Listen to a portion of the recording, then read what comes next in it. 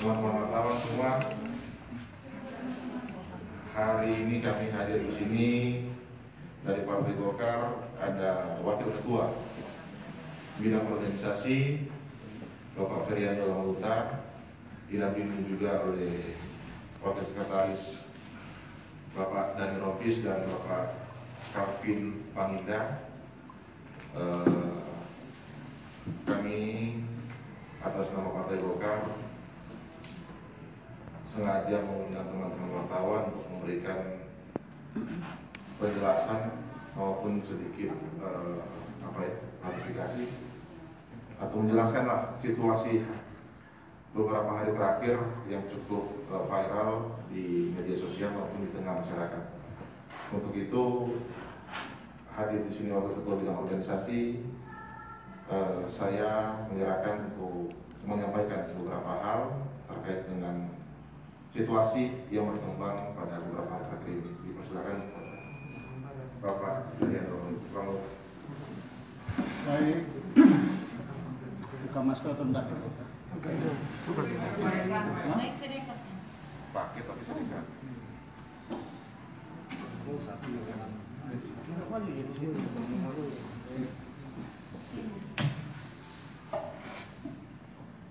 Assalamualaikum warahmatullahi wabarakatuh. Salam sejahtera buat kita semua. Selamat sore buat teman-teman sekalian yang berkesempatan hadir pada hari ini. Baik, kami dari Partai Golkar Sulawesi Utara ingin memberikan beberapa uh, poin sehubungan dengan berita-berita beberapa hari terakhir dan saya pikir teman-teman semuanya sudah tahu. Baik, saya coba bisa Pak? Saya membaca narasi yang ada dan diharapkan uh, menjadi uh, klarifikasi dari Partai Golkar Sulawesi Utara. Setelah melalui rapat pimpinan harian terbatas yang dipimpin langsung oleh Ibu Ketua Kristiani Eugenia Peruntu, saya diberi mandat untuk menyampaikan tentang klarifikasi dari Partai Golkar Sulawesi Utara. Dengan melihat situasi, kondisi pemberitaan beberapa hari terakhir ini, kami mencoba menelaah, melihat dan mencermati berdasarkan informasi dari masyarakat, media sosial, bahkan dari teman-teman media dengan apa yang menimpa salah satu kader Partai Golkar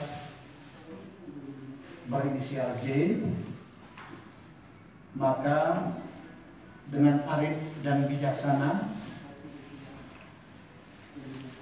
kami mengambil sikap atau Partai Golkar Sulawesi Utara mengambil sikap menonaktifkan jabatan dari Ketua Harian Partai Golkar Sulawesi Utara periode 2020-2025. Hal ini kami lakukan untuk menjaga marwah dan wibawa Partai Golkar dengan dinonaktifkan atau dicopot dari jabatannya dalam waktu dekat ini.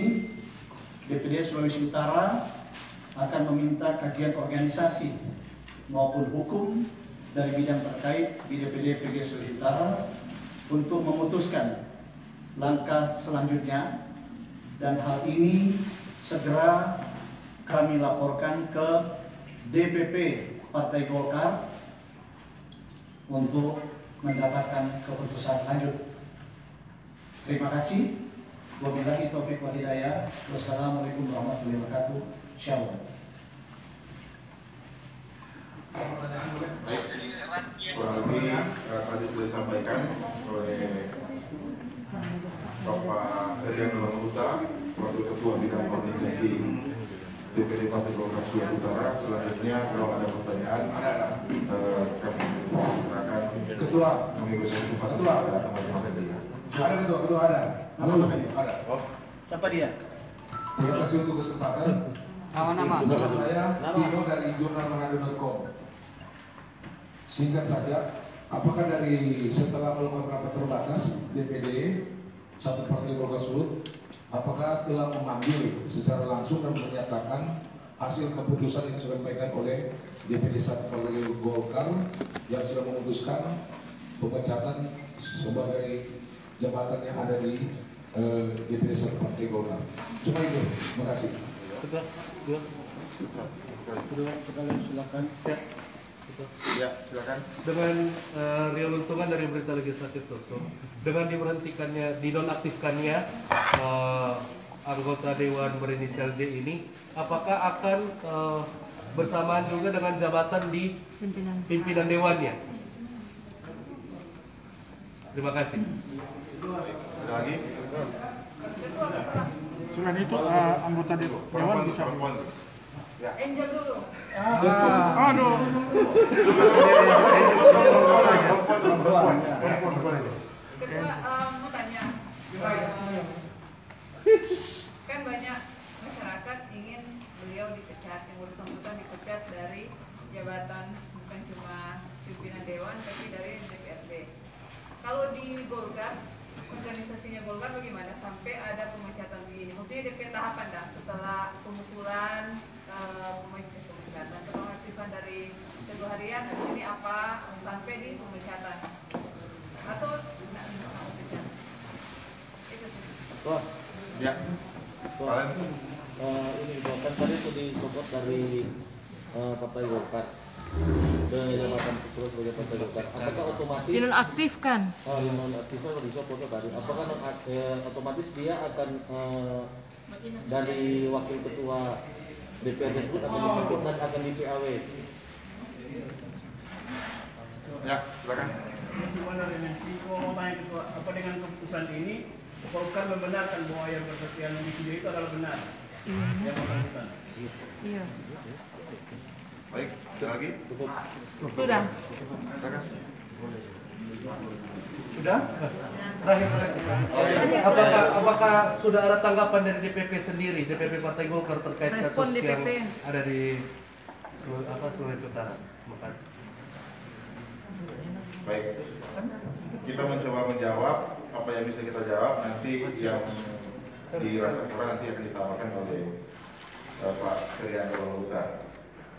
Pertama, eh, seperti yang disampaikan tadi bahwa selesai eh, dinonaktifkannya inisial J dari jabatan sebagai ketua harian, DPD Partai Golkar Sulut akan memberikan eh, tugas kemudian kepada bidang organisasi untuk mengkaji sekaligus bidang hukum dari DPD Partai Golkar Sulut sekaligus akan mengundang yang bersangkutan untuk memberikan klarifikasi.